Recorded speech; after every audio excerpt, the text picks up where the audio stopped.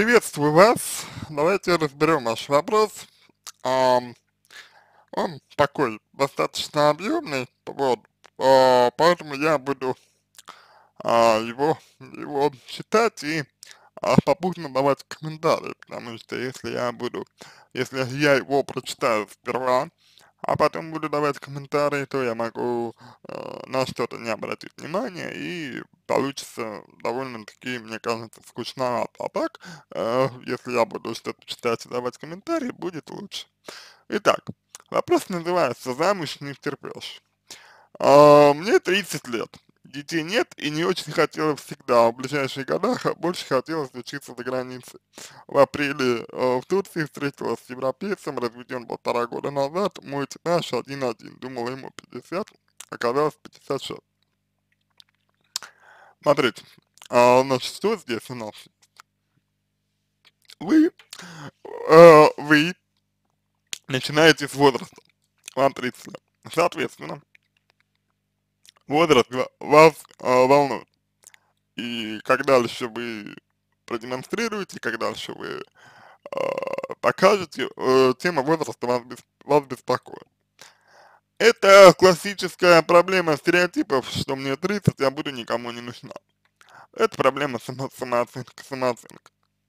Опять же, забегая немного вперед, скажу, что у вас есть еще проявление того, что у вас заниженная самооценка, но я допускаю, что вы не, э, не согласитесь с этим, потому что вы приводите примеры, э, примеры того, что, например, что вы творческая личность, что вы достаточно самостоятельный человек. Чувствуется, что вы знаете себе цену, это чувствуется, да.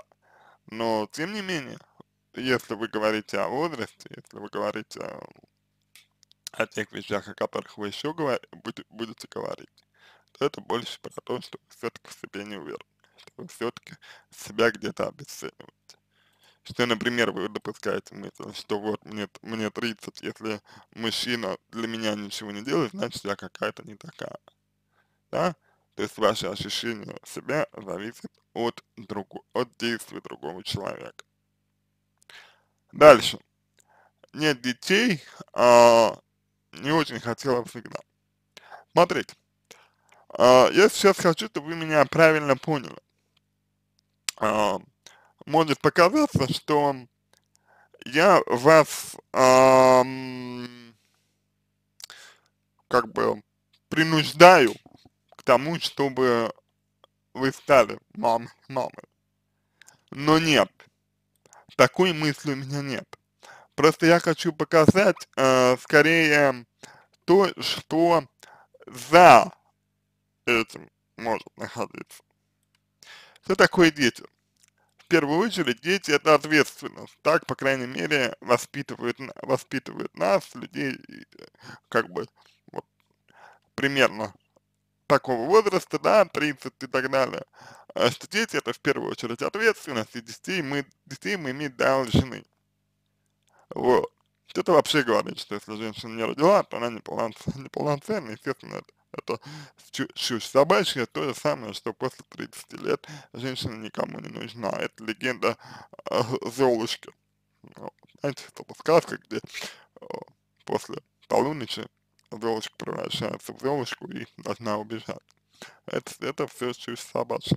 Самом деле, ну, люди это, это верят, вот, вы, например, верите, что, что после 30 вы уже никому не нужна, связано это с тем, что, а, возможно, вы уделяете излишнее внимание своей своей внешности, меньше внимания своему внутреннему миру, хотя вы творческий человек. Но, а, как бы вот история с детьми здесь похожа. Дети это ответственность и то, что вам не хочется детей, скорее всего, говорит о том, что вы не хотите ответственности.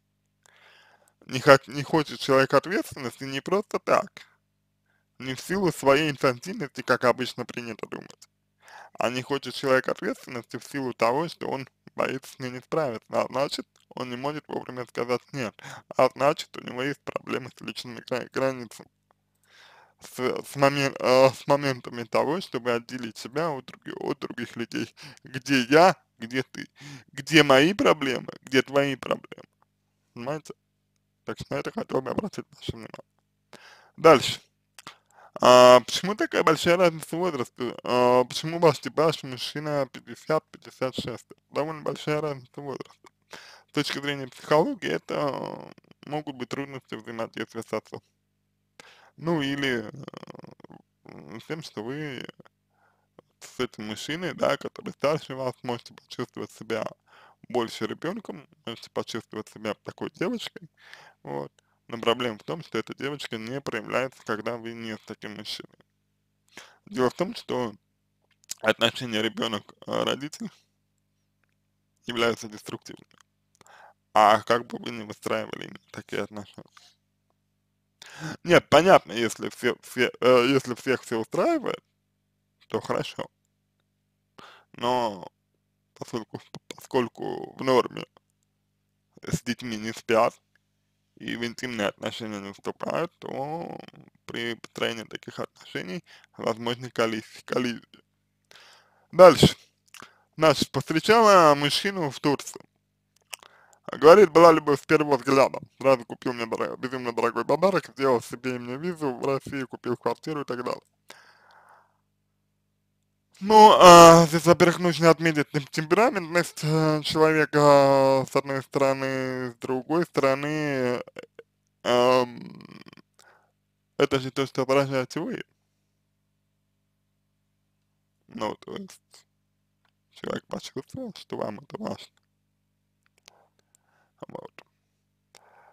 А, да, я каждый месяц э, пролетаю к ним в Европу на 7-12 дней, на дольше виза не позволяет. Он помог мне с бизнесом, купил технику, оплачивает учебу, дарит дорогие подарки. Хотя бывшая девушка не дарила ничего. Вот вы сравниваете себя с бывшей девушкой здесь. Это звоночек в сторону вашей самооценки. Она писала мне в соцсети, какая страшная, почему дарит, а ей нет. По глупости все выставляю в Инстаграм. Почему по почему по, по глупости и зачем выставлять в Инстаграм? Вообще выставлять в Инстаграм, это значит, что э, вы хотите внимания. Это нормально. Но вот э, сам, э, фор, э, сам формат желания внимания через Инстаграм не очень хороший. Чем проблема? Он говорил о браке, хотя я удивилась, мне казалось, было слишком рано. Потом меня увидела его бывшая семья. Дочке 20-21 год, с которым мы проводим все свободное от меня время и, и работы. Бывшая жена, с которой он еще и совместный бизнес многомиллионный, э, с которой у него совместный бизнес многомиллионный. А жену еще ушел сам, у нее сильная обида. Он ей платит большую сумму в месяц, как увидел меня, запросила еще больше. Его семья смотрит меня каждый день в Инстаграме, я вижу их профили, блокировать не стала, стала меньше, меньше выставлять. Почему? Почему? Это первое. Второе. Какое значение для вас брак-то имеет? Если вы говорите сами, что рано, ну хорошо. Такое ощущение, что... Такое ощущение, что браком вы пытаетесь решить какую-то какую, свою проблему. Вот если говорить о, говорить о невротических отношениях, это когда люди пытаются какие-то свои конфликты, проблемы решить в отношениях. Это так не работает. Если вы чего-то боитесь и в чем-то сомневаетесь в себе, у вас есть какие-то тревоги, страхи и так далее, брак это не решит, потому что после брака появится возможность развода, вот, и нужно будет, соответственно, брак укреплять, вы захотите ребенка. После ребенка появится ощущение, что э, там, не знаю, что у него любовница, например. То есть это все как бы прогрессирует. А, дочка капитально габит именно мозги, я плохая партия, прости, прости господи, я бывшая модель, очень эффектная, они думают, что мне 23-22 года, что я вру про 30, хотя он видел мои документы. А, ну вот по поводу документов, есть ощущение, что у вас с мужчиной несколько недоверительные отношения, то есть я верю в то, что они у вас пылкие, яркие и страстные, но а, у меня складывается впечатление, что личность ваша и личность его не на первом месте. На первом месте скорее вот какое-то задаривание вас, да, и может быть попытка вас завоевать. И типа пока он со мной, с ним будут конфликты. Он их просто опасает, потому, а, поэтому меня это не радует. Это ревность. Это ревность. Ревность происходит от неуверенности в себе. И от, а, повторюсь, от заниженной самооценки. У меня в марте заканчивается моя турист-виза, конечно, могу сделать учебный, это пару миллионов в год. У меня, меня понесло, давай женись скорее в марте на мне. А, понесло, как? Понесло в чем? Что вы имеете в виду, говоря про, говоря про понесло? Это ведь какое-то чувство. А после ссор с дочками я слышала все эти звонки, он стал этой темой как огня бояться, говорит, что пока не готов, он был в браке 25 лет, я должна понять, он еще очень боится ссор с дочками, каждый раз, когда я выставляла цветы или подарок, его жена жаловалась им, они начинали бучить, в итоге вообще перестала что-либо выставлять, пусть живут неведение. Опять же, какая-то чрезмерная зависимость от мнения других людей, это первое. Второе, ваш мужчина завис, зависим от мнения других людей. То есть личных, личных границ у него со своей э, бывшей женой и дочками нет. И либо вы договариваетесь об этих личных границах с ним, вне контекста брака, либо, либо так всегда и будет. Пока я сама не готова прям завтра переезжать в Европу. У меня в России еще моя творческая работа, он для меня очень много делает, помогает моим, моим родителям, мне, все его друзья со мной знакомые, мои с ним, меня все устраивает. Я вот понять не могу, вы хотите замуж, но не хотите переезжать в Европу. Как-то вот не кажется ли вам, что здесь у вас нечеткость есть в позиции? Или мужчина готов с вами в России жить? То есть есть ощущение, есть ощущение что вы сами эм, как-то вот в своей позиции не определились, хотите, чтобы мужчина вам помог. Вот. Ну, эта позиция чревата как раз таки тем, что вы описываете, а именно тревожностью и, зависимостью. Я не понимаю, сколько ему нужно ждать. Я считаю оскорблением, если не женится в марте, не сделает невест, невест. А не кажется ли вам, что тот факт, что вас можно оскорбить каким-то действием, скажем так, является, ну, показателем вашей, вашей неуверенности в себе. Потому что оскорбить человека может только э, сам человек. Сам себя э, человек может оскорбить если внутренне соглашается с тем, в чем, собственно, состоит оскорбление. Потому что когда действие, действие совершает другой, ну или действие, или слова говорит другой, то мы можем просто с этим не согласиться, зная, что это не так. Не кажется ли вам, что с учетом того, что вы ранее сказали, что рано замуж, как-то очень легко вас а, а, оскорбить. Здесь, на мой взгляд, совершенно очевидная связь, что вы боитесь, боитесь, что он вас бросит, вы боитесь, что он на вас не женится. И здесь снова вопрос о браке. Какое значение брак имеет? Не слишком ли вы э, переоцениваете его?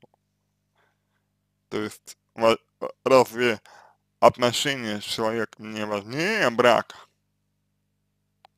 Я безумно скучаю по нему, тянусь, мне его не хватает.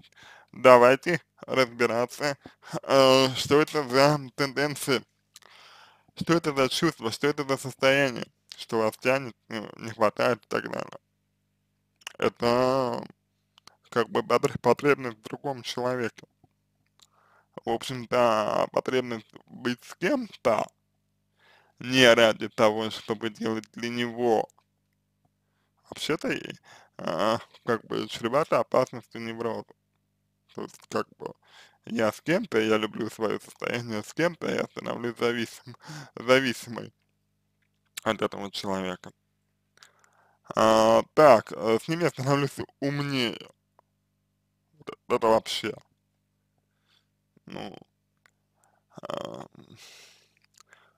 Нельзя с кем-то стать умнее. Вы можете либо быть умной и развиваться самой по себе, либо нет. Ему важно, чтобы женщина работала, училась, иначе он с ней не будет. Постоянно говорит, что столько меня бы не вкладывал, если бы не хотел будущего со мной. Но у меня есть ощущение, что здесь как будто, как будто бы сами себя успокаиваете. Вкладывает он безумно много, хотя он не самый богатый человек, учитывая алименты и жмот по жизни иногда крайней степени. А это может быть чревато в дальнейшем, в дальнейшем тирании. Но опять же, а, боюсь, что если я его пошлю, а за что посылать-то? Как бы. Вот понимаете, по сути вы говорите следующее, если ты не хочешь на мне жениться, ты мне не нужен. А где личностное это взаимодействие? Где взаимодействие внутренних миров? Где взрослое, зрелое взаимодействие между людьми? Аноним. Аноним? Да, аноним. Где, где, где взрослое это взаимодействие? Отдаете ли вы себе отчет, что вы здесь рассуждаете, ну простите, как ребенок, которому не дают конфетку? Э, непонятно, кого себе найду. Опять же, такое ощущение, что вы ищете мужа, но не личность, не партнера.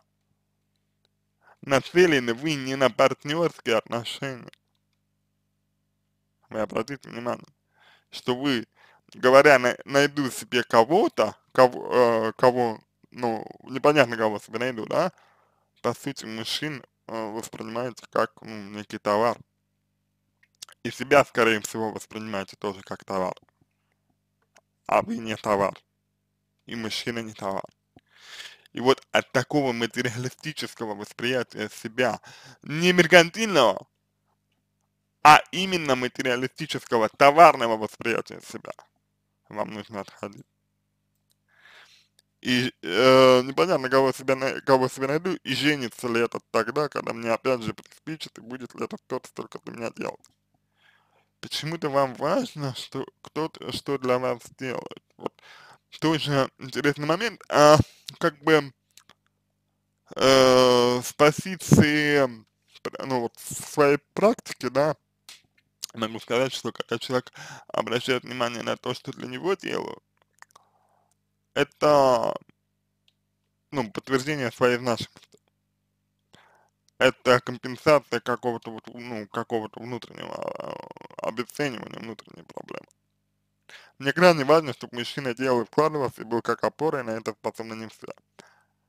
А я понимаю вас, а, что э, как бы, что важно, чтобы мужчина был опорой и так далее, но мне кажется, что это должно быть следствием и вторичным, вторичным по отношению к э, партнерству. Потому что только на вкладывании и только на опоре далеко не уедешь. Вот. У европейцев вообще свой взгляд. Мои подруги э, немки встречаются по 3-5 лет без замужества, даже не хотят, смеются, что рано и боятся брака, меня не понимают. Ну, менталитет разный у меня начинается, э, я 30 буду никому не нужна, не нужна, надо срочно. Это комплекс, это комплекс, это стереотип, с этим нужно работать. Немного надеюсь, что если уйдет от него, то ему станет жалко всех вложений, возможно, поймет, что не хочет расставаться, не знаю. Это ваша склонность к манипуляции, к манипуляции, еще один э, признак такого вот деструктивного поведения. поведения. Еще пока был пьяный, говорил, что боится, что я его потом брошу и уйду к молодому и оставлю его в одиночестве а возможно не очень доверяет. Да, вы так правильно, вы же не выстраиваете доверительные партнерские отношения, вы выстраиваете отношения по принципу ребенок, э, ребенок родитель, потому не доверяет. Вот. Ему важно, чтобы мадам была очень умная и работящая, а я не очень. Опять же, смотрите, смотрите, какая штука. Это все типажи. Если люди подходят к, э, э, к отношениям с позиции типажей сразу, да, то отношения превращаются в просто историю дашь на дашь. Если люди подходят к отношениям с точки зрения партнерства, а после говорят, чего я хочу, это более лаконично, деликатная и гуманная история. Вам не нужно отказываться от идеи того, что мужчина должен быть опорой. Ну, хотите, чтобы мужчина был опорой, ну, видите вы мужчину так, на здоровье. Дело не в этом. Дело в том, что эта история вторична, а не первична. Дело в том, что вы сами, э, сами отношения выстраиваете на базисах, на базе незрелой, на базе материалистичной, на базе напряжения, что вот, я должен вкладываться и так далее. Вот. Хотите, что вкладывался, супер, но э, как бы, во-первых, повторюсь, э, вкладывание и опора в здоровом варианте выстраивается на основе партнерства, на основе взаимодействия внутреннего мира, это первое. Ну и второе, это на такой вот активной коммуникации по поводу того, что я хочу и чувствую. Дальше, но стараюсь, он прям счастлив этого, постоянно делает мне подарки, сюрпризы, когда моя работа в гору идет, говорит, что гордится мной. Ну вот здесь вы как будто бы, знаете, пытаетесь одобрение слушать. А, я могу предположить, на, ну вот в этом месте могу предположить, что это как будто бы вы вот заслуживаете одобрения своего отца а, или какой-то еще значимой фигуры. Понимаете? То есть вы чего-то делать не хотите, делаете для подарков. А, вам не понравится то, что я скажу, но вы ему подстать. То есть, как мужчина, а, с дочками своими не выдерживает личных границ, что вам не нравится, так и вы готовы ему угождать и делать то, что вам не по душе, чтобы получить его одобрение и подарки. Что он заговорит о детях завтра. Мне 56, ты молодая, как э, используя вашу терминологию, тебе уже пора рожать, а я хочу своего ребенка, да, давай детей. И тоже вы ему ребенка родите. И тоже будет вас задаривать подарком. А потом однажды средства, чтобы делать то, что человек хочет, закончится а у вас отношения выстраиваются только, только на том, что я такой или такая, какой ты хочешь меня видеть. И вот, и вот что из этого произойдет, э, получится? Большой вопрос. И вот если вы чего-то не заслуживаете, то мне кажется, именно этого. Именно быть такой, какой вас хотят видеть другие. И вы не заслуживаете того, чтобы рядом с вами были люди, которые пытаются быть теми, кем вы хотите их видеть.